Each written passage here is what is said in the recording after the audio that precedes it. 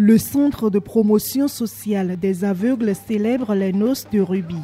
35 ans de joie, de performance, de difficultés. Un bilan globalement positif, mais des défis restent à relever. Le CPSA, Centre de promotion sociale de Segbeya, une structure qui a en charge des apprenants déficients visuels. Après 35 ans, ce qui a véritablement changé, c'est d'abord le regard social. Parce que depuis que le centre existe et que les déficients visuels s'asseyent aux côtés des voyants pour aller à l'école, donc depuis ce temps, le regard a changé.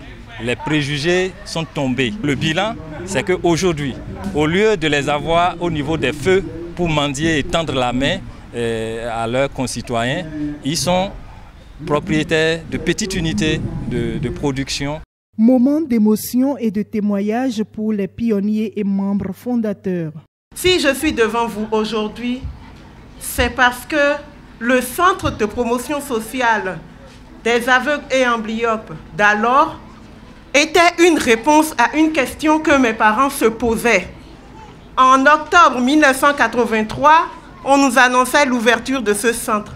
J'ai commencé avec la première promotion, nous étions 15. Nous avons vécu une expérience merveilleuse. Quand je suis allée à l'université, ici comme à Brest, en Bretagne occidentale en France, ça s'est très bien passé. Au début, tout le monde reste à l'écart et après, quand on voit qu'on peut compter sur vous, on se rapproche de vous. C'est le moment de dire aux parents, n'abandonnez pas vos enfants, même si vous n'y croyez pas, dites-leur qu'ils vont briller. Ces avancées ont été rendus possibles grâce à l'appui des divers partenaires, notamment les organisations de la société civile, le Rotary Club Cotonou, mais surtout le gouvernement à travers le ministère des Affaires sociales.